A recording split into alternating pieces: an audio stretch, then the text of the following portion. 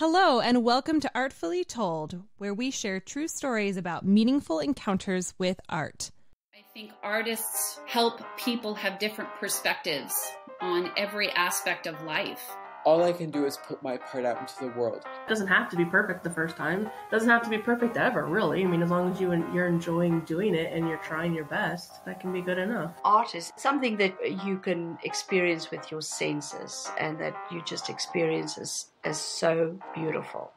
Hello, and welcome back to another episode of Artfully Told. I'm your host, Lindsey, and I am so very excited to have as my guests today Shawn Kilgore and Natalie Cordone. They are a performing duo that has been producing, writing, and touring around the country for almost a decade. And they are currently the hosts of Live with Cordone and Kilgore. And I am so excited to chat with them about their artistic journeys and what they're up to now. I know their whole focus on is on positivity and light and I'm just so excited that they're here. So thank you Shawn and Natalie so much for being here today. Thanks for having us. This is very exciting. We're I'm excited to be here. Yeah, we're thrilled to be here. Thanks, Lindsey. Of course. And it sounds like we have some guest artists as well. yes, I apologize for the for the hounds in the background. It's all good. I have two dogs too. They might make a sound appearance at some point as well. yeah, I'm not making any promises on my end either. The pup is he's being good right now, but you just never know. Yeah.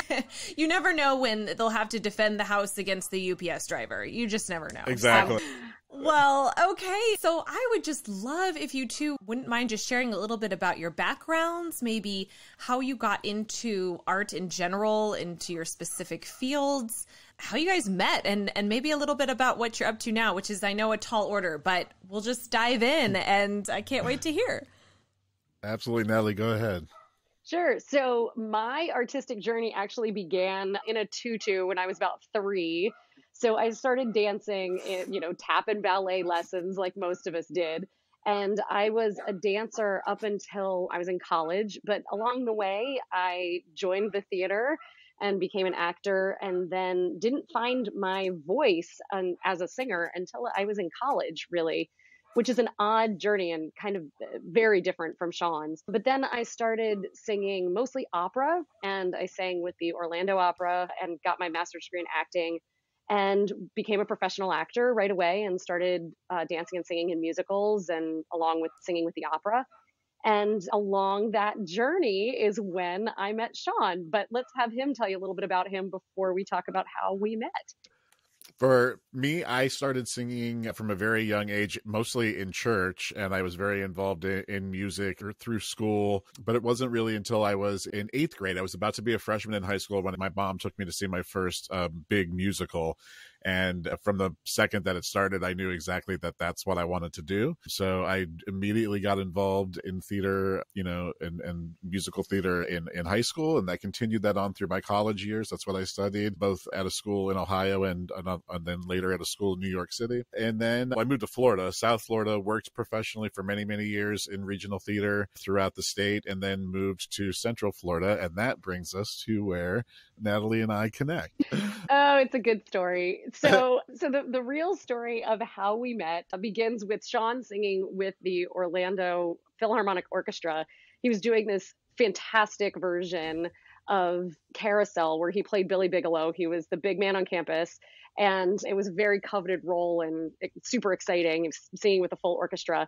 And in the midst of it, I was moving back from New York City and we both got cast in a show together so Shawn had been cast in the musical from the beginning, and his partner in the show was supposed to be another actress. The show is called Baby, and in the show, our two characters are desperately trying to get pregnant. I think that's a nice way of putting it. so in that show, we spent most of our time in a bed. That was our set. And so we got to know each other very closely, very quickly. Yeah, a, lot, a lot of intimacy from the day we met. Yeah. And I just thought he was the most wonderful actor. And the only reason why I was cast in the role was that this whole time the the storyline is really about how this couple cannot get pregnant and the actress who was supposed to play the role got pregnant. And so she was going to be five months and showing on stage which would have made absolutely no sense. She's a wonderful actress and it's the only way she could have possibly lost the role. Yeah. and so as i was coming back from new york the theater called me and asked if i would do the show. And so i was thrilled to get a chance to work with shawn and, and have it be my sort of return to this regional theater that i'd worked at many times and so we did get on stage and, and get pretty close pretty fast. and in the midst of that, I was doing a solo show. And Shawn said, you know, would you want to do a cabaret show with me? And I'd done quite a few of them. And I said, yes, I'd love to work with you again, but can we do something even bigger and better than a cabaret? And from there, we put a band together and we got charts and we found that we loved the same kind of music and yeah, so we loved singing together, and I couldn't imagine not working with him and having him in my life every day.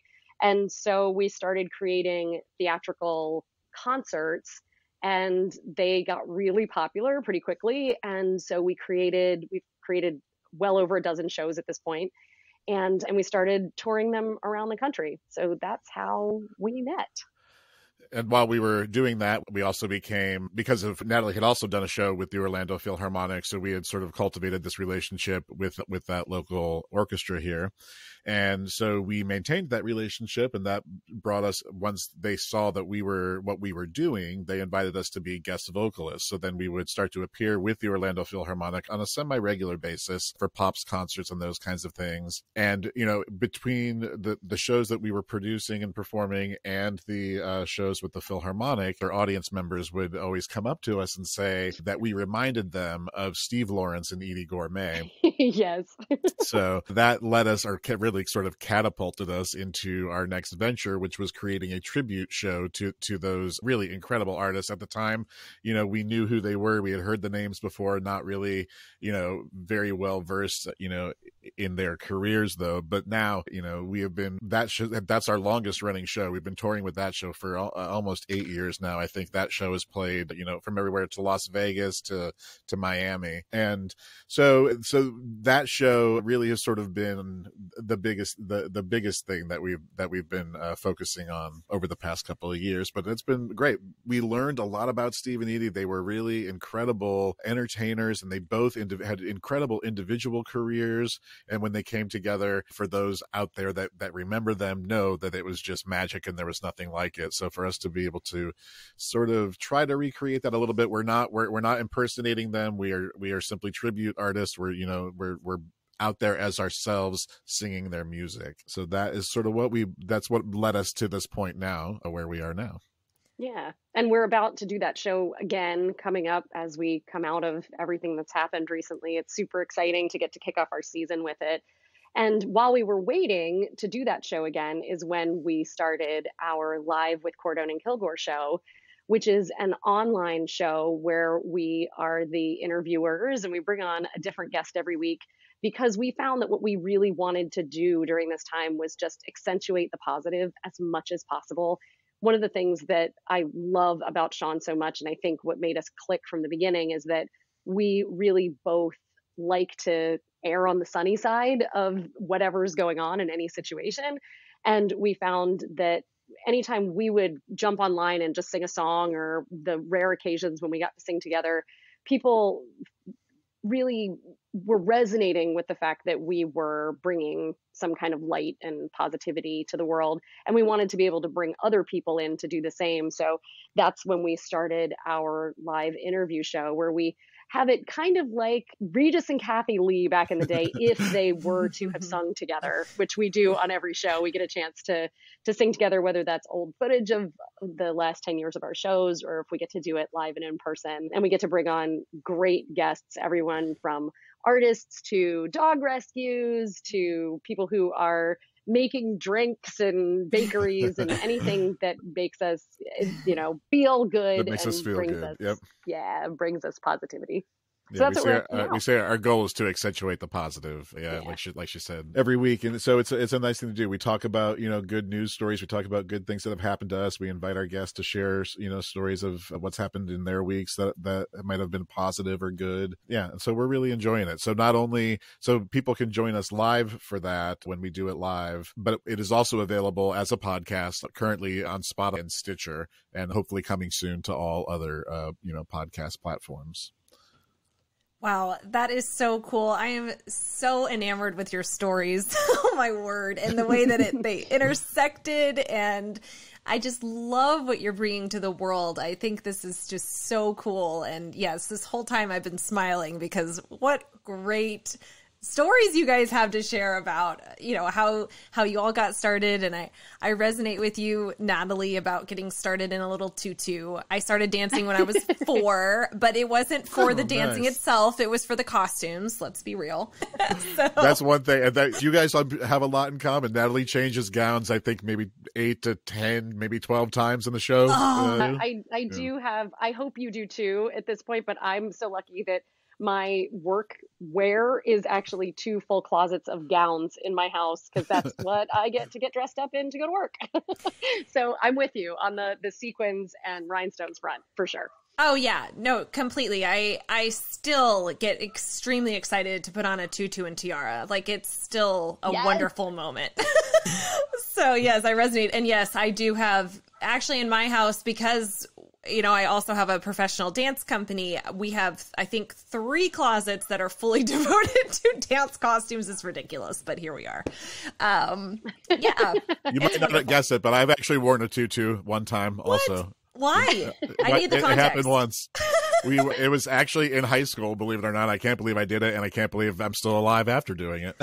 It was in a, a show. It was like you know, you know, our show choir was doing a best of Broadway thing, and we did the number "You Got to Get a Gimmick" from Gypsy, and it was the two women came out to do the first two, and I came out and I was the ballerina butterfly You were one. and Tessie Tessie, Tura. and Of I was course Tessie you were. Tura, Yeah. Okay, so the only time that this gets weirder than this is that Shawn and I have once in our lives played the same role in a oh, musical, Oh, yeah, two different yeah. musicals, but we both Two different played productions, yeah, but we, two we different both played productions. this. That's right, yeah. of the same musical. In Nunsense, we both played Sister Mary Amnesia at two different times. He played it, I played it in Nunsense, and he played it in Nunsense Amen. So we've actually shared. The three of us have all shared the experience of a tutu. the two of us have actually experienced singing the same role on stage, which, as a soprano and a baritone, makes absolutely no sense. But we did it. We've done it. And I'm actually on the national cast recording of Nunsense Amen, which is also available on Spotify and you know out there. But as Sister Amnesia on the recording. What? That is so cool. Oh my word. you too. I love it.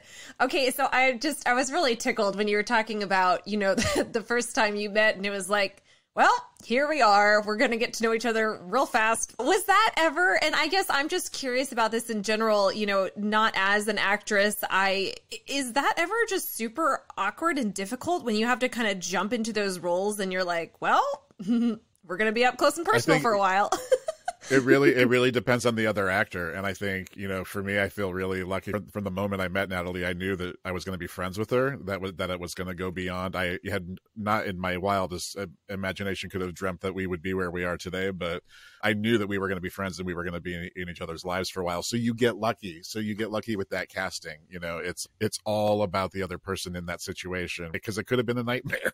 you know what I mean? It really could have been a nightmare from day one. But thankfully, you know, we really we connected and and you know it, it turned out to be the show itself was it was an incredible show and we got to do some really wonderful moments together. We got to play the happiness of of being a, a couple into the the heartache of you know thinking you are pregnant and then finding out that you're not again. You know those scenes were pretty powerful and to get to go through that together every you know eight times a week for however many weeks it was i think that's something that that bonded us also you know Oh, for sure. Yeah. I yeah, can- for sure. I was just going to say that chemistry piece of it is one thing that you can't make up, right? It's genuinely Yeah. liking someone and then getting to fall in love with them over and over again. It's really special. And I've I've been lucky that I've never had a bad experience, but I've definitely had ones where you do sort of walk out and go, "Oh my gosh, I can do this 8 times a week with this person and it will be just a joy every night. It's so easy." And when you meet Shawn, everyone falls in love with Shawn. There's just no person that's ever not immediately been enamored with him. So I was very, very lucky on that front. But I think that it can be super awkward if you don't enjoy the person you're with. So I think that that was one of the things where because we both had been professional actors for a long time, we both knew that when we met, it was like, oh, this is different. Like, this is special. Thank Yeah, goodness. This is going to be fun. you know, Yeah, absolutely. And Definitely. I can I can relate to that just on the dancer level of when you're doing partnering it is so physically close. I mean you're you're literally touching each other so that you can be supported in pretty cool ways in these different lifts and and all sorts of different things and I I relate to the fact that sometimes I've worked with partners where it felt like a lot more work. I mean, I was also always lucky to have people who were awesome to work with, but yeah, when I met the the guy who is currently my dance partner, was like a very similar experience of, oh, this is easy and this is a lot of fun versus, you know, like feeling like it's more of yeah, a job. this is work. yeah. Yeah. Okay. Totally. And so your tribute show, I'd I'd love to delve into that a little bit more. I think that is such a cool thing that you guys have developed and and obviously you've gotten to tour with it and do all sorts of wonderful things. How long of a process was that to sort of write the show and you know uh, come up with all of the different components i mean i i can only imagine from my production experience but i feel like this is a whole nother level when you're doing something to be a tribute to people who you know came before you essentially Yeah, absolutely. We sort of live we sort of lived in their in their music for a good period of time, right, Natalie? Like we listened to almost everything. Like we went through their, you know, as much as possible and really tried to, you know, look at every video we could find and read everything we could find. I mean, I, we, we fell in love with them, you know, and so we, so then when we get to the point where we're creating the show, it really made us want to do them justice, you know. Yeah, and knowing hmm. that they were such a special couple. For those of you guys that don't know, Steve and Eydie were they worked together and they lived together and were married for 55 years.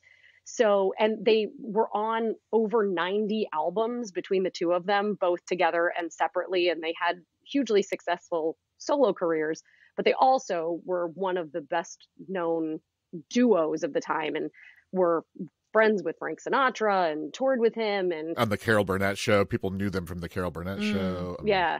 So mean, they, they were left everywhere. such a legacy Yeah. of music that it was really hard for us to whittle it down to just a 90 minute show. I mean, that was part of the hard part was going in and saying, but we love all of this stuff. How do we try to make, you know, how do we try to do them justice and tell their story in a way that resonates with ours and also get to do this incredible music that spans so many decades, but still has a real through line of sophisticated pop music that's really what they were known for. And so it, that was the easy part was being able to sit back and sort of go oh what's good? Well everything's good. Now the hard part is how do you pick what to Yeah. what to do? And so like shawn said we really did live in their world for a long time. And and touring with the show one of the things that's been really great is that we've met a lot of people that were either related to or were friends with or worked with Steve and Eydie along the way. Everyone from like roadies. We had a guy who told us that he was he worked backstage and that Eydie Gormé would sit there at a table Pac-Man that she used to travel with, like back when Game Boys, right, weren't a thing, or you couldn't put an app on your phone.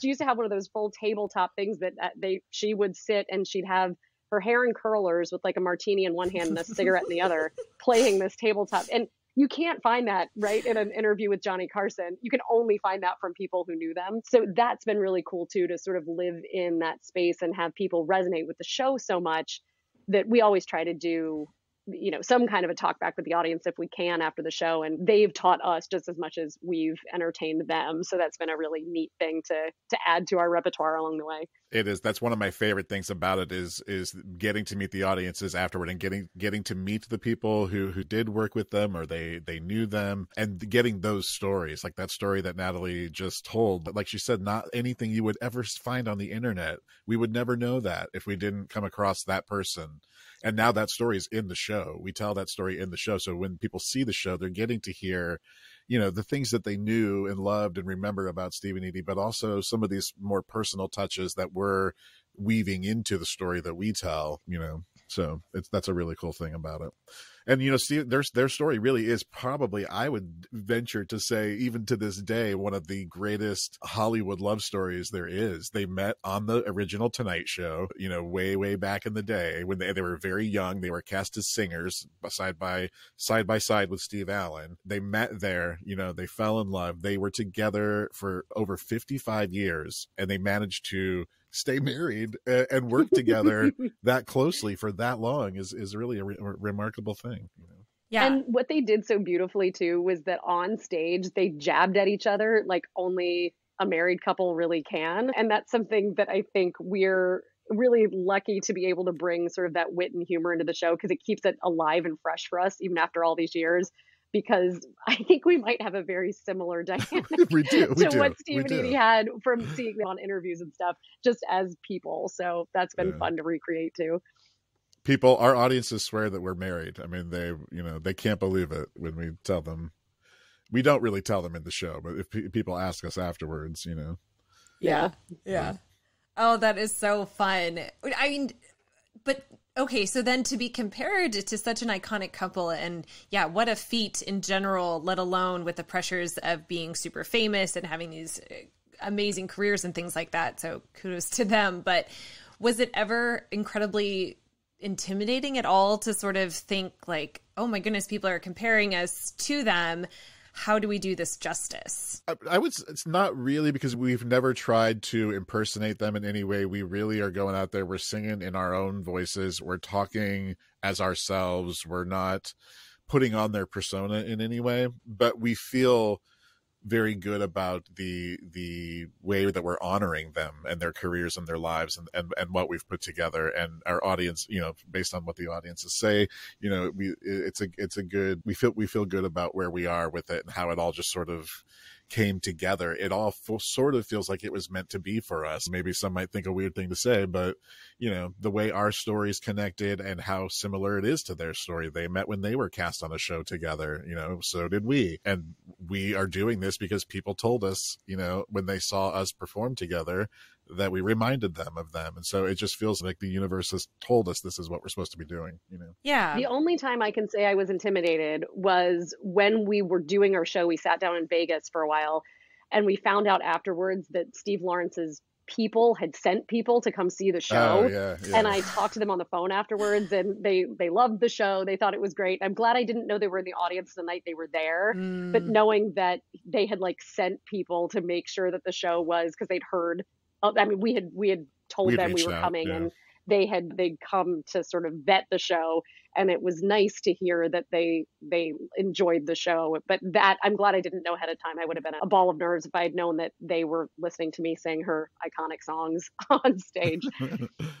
Yeah, that makes complete sense to me. That is that is so cool. Definitely meant to be, it sounds like. And now I'm excited to hear that you guys are going to be able to go back to performing again. I know COVID sort of threw a curveball at, at many different people, especially performing artists, but tell me a little bit more about your show that you're doing now, these live productions that interview people and things like that. Sounds like an incredible way to bring, like you said, positivity to the world. So I'm just super curious how that came about and how that's going.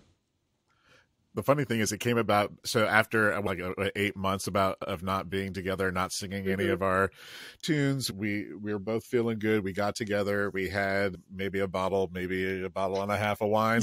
And we were like hey let's play russian roulette with our songs and see what we remember and we decided to do it live on Facebook. I'm glad that we know each other well enough that we were okay if things didn't go well because mm-hmm. it was good. It was fun. It wasn't always good. I guess that's a better way. To say it. Yes, that's a good. That's a perfect way of saying it. But even when it, yeah, even when it wasn't, it was still fun. You know, so that's kind of how it all started. We enjoyed it. We had, you know, and we got great feedback from that, and that's sort of pushed us in the direction of trying to do something on a more regular basis and and now we're sort of have delved into this world of podcasting and vi- podcasting with video and um, really excited about the about the direction uh, the direction of it and Shawn and I had both expected along the way that we would be broadcast journalists. It's odd. That was where we kind yeah, of had yeah. both begun thinking our careers would end up. And it's fun to have brought it full circle where that's really sort of what all podcasters and video podcasters are doing now. And it's neat to come back to that sort of love of ours that we had put aside while we were touring all over the place for the last umpteen years together and we really are mo- sort of modeling the show after sort so it is sort of modeled after that sort of live with Regis and I always say Regis, but I like and, the uh, Regis and Kathie Lee version. We can stick with that one. We can go old school, John. It's all right. Yeah, Ka- Kathie Lee would sing sometimes, but she would not have Regis sing with her. No, that's for sure. I think she might have pushed him off the stage, but she would have had the bottle of wine. So we sort of modeled it after that kind of feel. So it has a very fun, lighthearted. We wanted it to be very conversational. We didn't want it to be about any one particular topic so that we could have, you know, and it seems like, you know, even like how you're doing, you know, you have a variety of people in the arts, which is awesome. But yeah, we, so we, so like we, like Natalie said, we ha- next week are having a, a baker on the show. And then, you know, we, we're having uh, some other podcasters on the show and we have had musicians and like Natalie said, pet, uh, dog rescues uh, we've had.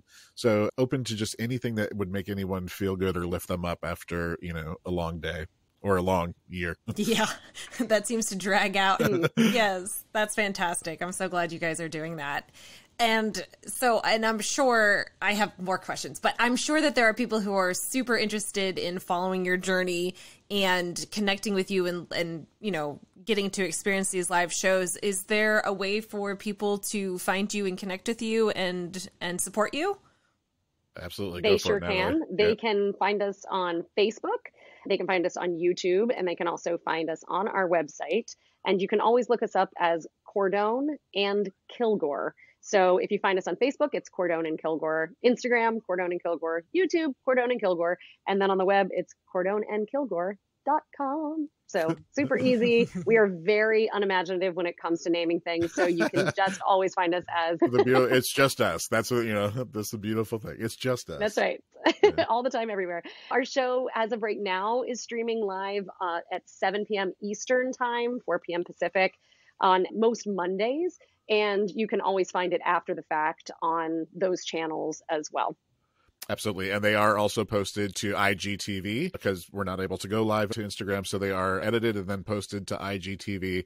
And then again, you know, we take then the audio from it and then do an edit of that for audio podcasts that are currently available on Spotify. Um, and Stitcher, and then and again, hopefully, we'll be expanding that audience pretty soon as well. Yeah, absolutely.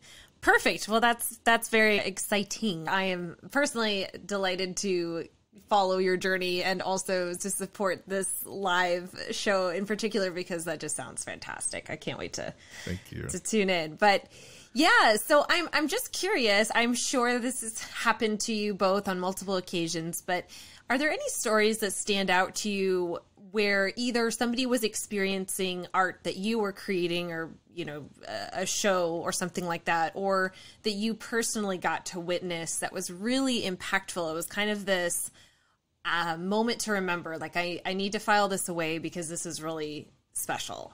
Yeah, From my own personal experience and watching someone else create that really moved me in a way that I'll never forget. I've seen so many shows, both my friends and other professionals work, but the one that hit me the strongest that I can sit here and put myself right back in the theater was I watched Audra McDonald do 110 in the Shade. And there is a song called Old Maid towards the end of the first act, I believe. And and she ripped me to shreds. And i just remember i'm still i'm getting chills just thinking about it as i'm sitting here. And it was the way that she connected to the material that she was singing. And it was that she was she's a brilliant vocalist but she was really experiencing that the moment in a way that I could feel in my own body and my own soul the way that she was experiencing that moment for that role. And I was sobbing in the audience, and the audience was completely full. I had gone to theater by myself, which I do often, and I didn't know either of the people sitting next to me. And I know they thought I was nuts. I kept getting uh, like those sideways glances of why is this? why are you crying? Imagine how the whole entire audience wasn't sobbing. And it, for me, was one of those pinnacle moments of great art that I got to experience and is something that no one will ever get to do again if you weren't in that theater. And I think that's what I love so much about live performance is that it is temporal and when it's done it's done. And anytime I get to experience live performance, dance, uh, music, if it's being made in front of you, that's something that no one can take away from you, right? My house could burn to the ground, I could lose everything I have, but no one can take that experience from me. And that's one of the things that I love so much about art and about live performance. That's a great answer. Yeah. I feel like that's like why we as artists and why everybody who loves art comes back to it because you're always I don't know, it's sort of like when you have a moment like that, you want another one, so you seek Mhm. it out, and so you're. It's like trying to chase that high. Yeah, you become an addict. Art addict, I love it. Yeah, and so that, but that was a great answer, I think. But and for me, I've had many impactful moments uh, with art. My most recent one, though, however, was getting to see uh, Bette Midler perform in Hello Dolly. Uh, Mm, in, oh. in, in New York City, that, oh, that was for such me, a good one. now uh, that I can tell you, I, I sobbed not all the way through, but there were moments where I mean, I and not for I because it too. was it was just the most amazing. I don't know, and I'm getting chills thinking just thinking about it, talking about it because it was. You felt like I don't. I don't even know how. I can't even put it in words. Uh, I'm at a loss for words trying to even explain what it was, how it was. But Well, I know that when they came out for Put On Your Sunday Clothes, and I know we've talked about this, when they did the parade of the costumes, it Yeah. like it's what you've wanted every musical to ever be in all the world. And I know I remember you talking about how she just touched you so much, and I I can feel it listening to you talking about it. yeah, yeah that's cool. That's cool. It's amazing. Yeah, and when like and after that iconic the, the iconic "Hello Dolly" number and just the roar of the you know in full Broadway theater and as everyone st- like stood up and I I swear it went on for like five minutes or more the the standing ovation like it was yeah I yeah I just love it I love yeah that was awesome Yeah, of course. That is so cool. Well, yeah, you both have incredible stories about art being impactful and I really like the the idea of the art addict. We might have to make a T-shirt. right? yeah Thankfully it's the healthiest addiction you can probably have, right? yeah oh man. I feel like that needs to be explored further. We might, you know. That's it might make you poor, but Right. it'll definitely get you high. Yeah. I love it. oh, this is perfect. I love uh. it. Oh my gosh. And I totally resonate with what you were both talking about with live theater. I mean, I'm so grateful that there are so many avenues nowadays to view art virtually, whether it's a you know, it's a musical or something else, but there's nothing that compares to live theater, even as a mm-hmm. performer, I feel. You know if you're taped it's it's nice. I mean i'm glad to have that so i can go back and and see it again but there's nothing like that feeling of just being on stage and looking out into the audience and hopefully it's a super dark theater so you don't see anyone's face you know? Oh that's awesome. That's so exciting. So when's your first live performance back? We are so lucky that we will be performing at the Grand Oshkosh in Oshkosh, Wisconsin, coming on June the 11th. It's a Friday night, and there will be a live broadcast of it as well that's completely free. So if this happens to air before June the 11th and anyone wants to watch it, if you go to the, if you Google the Grand Oshkosh or watch any of our shows, we always try to put up a link for it. That night, you can watch the free live broadcast of the show along with the 50 or so people that are going to be allowed into the house that are going to be socially distanced in the balcony for the night. But we get to have our, our three piece band with us. We're going to get to actually tour up there again. and it will be a really nice stream too it's going to be a three camera shoot and that's all thanks to I, I believe a sponsor right Natalie somebody Yes, that's a, correct. A, a corporate sponsor that's sponsoring the the stream so that we can share the show with you know an even broader audience which is awesome Yeah, that is fantastic. You know, it's so interesting because, again, in so many ways, artists have had to really switch gears or be a little bit differently innovative, I would say. I think in general, artists are very good at adapting.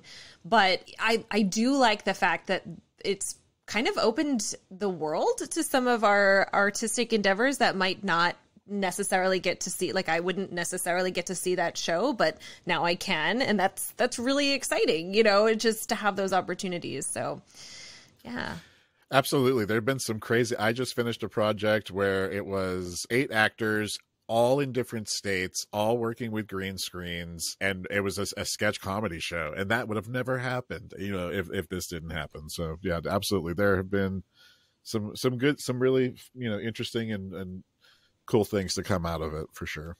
Yeah, absolutely. Well, First of all, your stories are just so fantastic, and I literally have been sitting here smiling the whole time. So, this has been fantastic and wonderful. And I do have three questions that I always like to ask my guests if you two would be up for that. Sure. Oh, yeah. Okay. So, first of all, how do you personally define art, or what is art to you? Ooh, I feel like we should have studied. All right. So, what is art to you? Apparently, we answered this earlier, and the answer is like a drug. I think art to me is self expression in a way where you're attempting to communicate something that is incommunicable to another person. That's good. I think. I think for me, it's the opportunity to escape. Yeah, absolutely. And then, what do you think is the most important role of an artist? To keep it alive, to keep it going. I think for me, it's to tell the truth. Ooh, that's good. whatever your truth is in that moment to be vulnerable enough to be honest in a way where you are sharing something real, sharing a piece of yourself with people that you might never meet or really get to know. Yeah. Yeah, absolutely. Okay. And then my final question, and I'll define my terms a little bit, but do you think that art should be inclusive or exclusive? And what I mean by that is inclusive referring to artists who put their work out there and provide some context behind that, whether it's, you know, as simple as a title or whether it's show notes, whether it's the context behind it, the inspiration sort of that that prompted it versus exclusive referring to artists that put their work out there but don't provide the context and basically leave it solely up to the viewer to determine what they will. I for me, I think inclusive because it should be also about the educational piece of it and to let young people growing up today know how it all works. You know? And hopefully to be able to inspire. Yeah, I think for me it can be it can be valid in either direction. I think it's really up to the discretion of the artist as to what they want that experience to be for their viewer or their audience. I know for myself, I much prefer to make what would be considered inclusive art. And I think for the most part, I prefer to be the viewer of it as well. But I think that both of them are valid. It just depends on what the project is, I think. I know that wasn't really an answer, but I'm gonna I'm gonna pick D, all of the above. That's always the best. If it's an option, I'm right. going with it. Right. I, yeah. Right. No, and and you're absolutely right. You're both right. I mean, there's value in both and and I think it's it's really interesting to hear the answers to that particular question because everyone has a different you know, opinion just like art is subjective, so is that question. I love it. Well, again, thank you guys so very much for being here today. I'm just so thrilled to hear your stories and I'm I'm very excited about what you guys are doing. I I'm going to mark it in my calendar to catch that live stream because that's really exciting to me too. And you know, with your with your live shows that you're doing weekly, I think I just know that what you bring to the world brings so much positivity and light and value and I just commend you two for doing that and for choosing to look on the bright side, choosing to highlight the good that's happening because that is so needed and I just know that what you're doing is making a, a tangible difference in people's lives. And so I just want to commend you for that and thank you for that because, you know, it, it does take you time and effort and I appreciate it. So thank you. that's, that's very nice, Lindsey. Thank you so much. This was really a lot of fun. I really yeah, thank great. you. And we hope that you will be a friend of our show. We would love to have you on as a guest. Not yeah, to put you definitely. on the spot, but we would love to have you. And so hopefully we'll get a chance to collaborate again because your spirit is so open and kind, and the work that you do here too, to have gained the following of the people who rely on getting to hear you every week. We just we're glad that we were able to share yeah, of course. And oh my gosh, yes, I would absolutely love to be a guest. That would be a huge sweet. honor. we'll set it up. We'll cool. have our people call your people. oh my gosh. Well, thank you again so much. I'm I'm very much looking forward to that opportunity as well. But Also, thank you so much for everyone who has listened to this episode. And oh my goodness, if you're feeling as inspired as I am right now, I would just love if you would share this episode with a friend or two. And we will catch you next time. If you have a story to share with us, we would love that so much. And I hope your day has been artfully told.